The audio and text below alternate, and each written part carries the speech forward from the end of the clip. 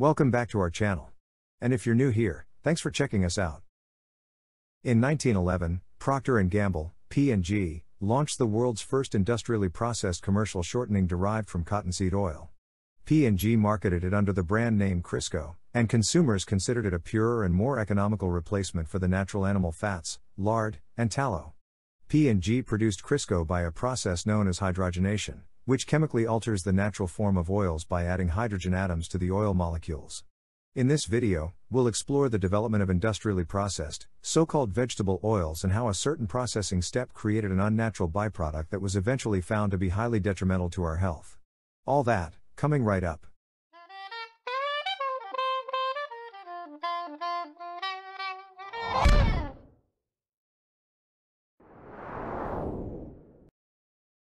Today, the vast majority of oils consumed in North America are extracted from soybeans and canola seeds. Soybean oil is most prevalent in the US, while canola oil is dominant in Canada. Canola is an acronym for Canadian oil low acid. Canola oil comes from a genetically modified version of rape seeds known as canola seeds, both of which are members of the mustard family. Rape seeds constitute a significant source of industrially processed edible oil and feedstock for biodiesel production in Europe. Compared to rapeseed oil, canola contains less erucic acid, which has been shown in animal studies to promote fatty deposits in the heart muscle. Soybean and canola seed oils are deceptively marketed as vegetable oils to make them sound more healthy. But these oils have a higher ratio of omega 6 to omega 3 fatty acids than is considered ideal. This can contribute to inflammation and various chronic diseases.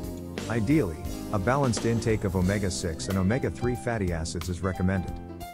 Fish oils are rich in long chain omega 3 fatty acids, EPA and DHA, which have been shown to provide significant health benefits, including anti inflammatory properties, cardiovascular health benefits, and support for brain health.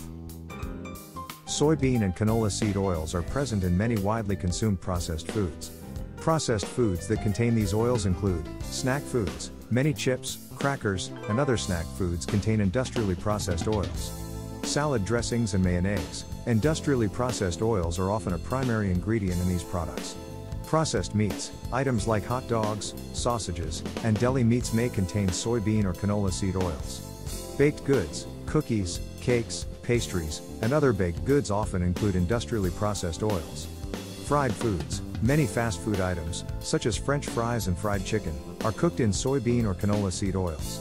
Margarine and spreads, these products frequently contain soybean or canola seed oil as a key ingredient. Sauces and condiments, various sauces, dips, and condiments use industrially processed oils. According to Statista and the Helgi Library, U.S. annual per capita consumption of industrially processed fats and oils increased from an all time low of 11.2 pounds in 1961 to 105 pounds in 2020. This corresponds to a more than ninefold increase over the 59 year period from 1961 to 2020. The National Chicken Council's 2021 report showed that total per capita meat and fish consumption increased by 35.8% over the same 59 year period.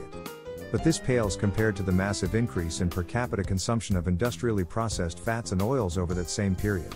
This change represents a massive shift in America's dietary landscape. Demand for soybean oil is driven primarily by the demand for soybean meal, which is the protein rich non oil portion of crushed soybeans. Most of the soybean meal, about 98%, is fed to livestock as a protein source. A minor amount, 1%, is used in food formulations for people. There are numerous steps in the industrial processing of soybean and canola seed oils, but probably the most detrimental of these steps is partial hydrogenation, which is performed to extend the oil's shelf life by making them less prone to oxidation. Partial hydrogenation produces trans fats, which are linked to a plethora of health issues. Trans fats are a synthetically altered version of the naturally occurring cis fats. The chemical composition of trans fats is identical to that of cis fats, but the position of hydrogen atoms in trans fats are on opposite sides of the carbon to carbon double bond, while in natural cis fats, the hydrogen atoms are on the same side of the double bond. You might ask, why does this seemingly small difference matter? Well, this reconfiguration of the hydrogen atoms in trans fatty acid isomers adversely affects the human body on a cellular level. It hinders or blocks numerous cellular functions ranging from energy provisioning to prostaglandin production. In May of 1978, Mary Enig, a nutrition researcher at the University of Maryland, published a paper that questioned the safety of trans fats based on gaps she found in the data that ostensibly defended trans fats. But it would take more than three decades for this life saving information to gain widespread acceptance due to strong pushback from powerful, well funded lobby groups protecting the financial interests of the shortening and margarine industries. The Federal Drug Administration finally decided in 2015 that trans fats were no longer generally recognized as safe or GRAS. As a result, they've been banned from food products since June 18, 2018. Thanks to Enig's courage, determination, and persistence, it is now widely accepted that consuming trans fats raises a person's risk of developing cardiovascular disease, type 2 diabetes, and is highly inflammatory, which can lead to several other chronic metabolic diseases. For more than a century, the steady infiltration of PHOs into our food supply has brought tremendous convenience to our lives by significantly reducing the need for manual food preparation and cooking. But in light of the resulting obesity epidemic and the accompanying explosion in cases of chronic metabolic diseases, the question we should ask ourselves is Has it been worth it? Thanks for joining me today. I hope you found this video helpful. Don't forget to like, comment, and subscribe for more videos like this. Have a great day.